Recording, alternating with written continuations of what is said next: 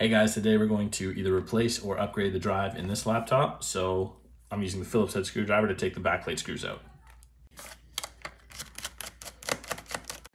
Now we're gonna take off the backplate by basically peeling at the corners and separating it. And this part is usually the most daunting part, but it's not too bad. Just work slowly. So once you kind of peel around the edges, just sort of pull and wiggle and it'll come off. So this one already has an NVMe SSD, so we're just going to expand the storage by unscrewing this bay and putting the drive in. Now I'm just going to connect the SATA connector.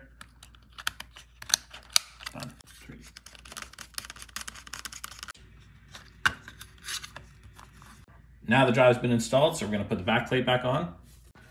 So I'm just going to apply pressure until I hear it snapping into place. Put the screws back.